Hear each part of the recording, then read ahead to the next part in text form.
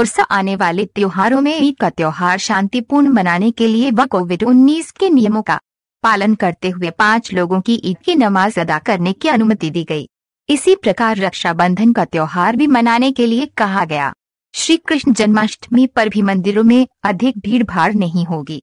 Social distance व नियमों का पालन करते हुए सभी समाज के लोग अपने अपने त्योहारों को शांतिपूर्ण तरीके से मनाए। शांति समिति की बैठक में नायब तहसीलदार ओपी श्रीवास्तव, थाना प्रभारी अतुल सिंह, मुख्य नगर पालिका अधिकारी, एनएल करोलिया विद्युत विभाग जे भारत कतीजा आदि प्रमुख रूप से अधिकारीगण मौजूद रहे।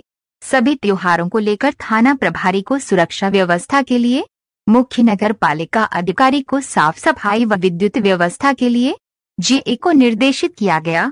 त्योहारों में किसी प्रकार की किसी को कोई असुविधा न हो, सभी लोग अपने अपने त्योहारों को सोशल डिस्टेंस व कोविड उन्नीस के नियमों का पालन करते हुए मनाए शांति समिति की बैठक में बंशीलाल जाटव, पूर्व विधायक दिलदार सिंह तोमर, भाजपा नगर मंडल अध्यक्ष राम कुमार गुप्ता, अरुण गुप्ता, राकेश उपाध्याय, यूनुस खान पठान, अरविंद सिंह तोमर, शिवराज सिंह तोमर, हमीद खान, गौरी नथी लाल राठौर, अवधेश राजौरिया, संदीप उपाध्याय, मुकेश कटारे संदीप परमार आशीष तोमर, रोहित सिंह, राहुल सिंह तोमर आदि प्रमुख वरिष्ठ जन व समाज सेवी नेता गण उपस्थित रहे।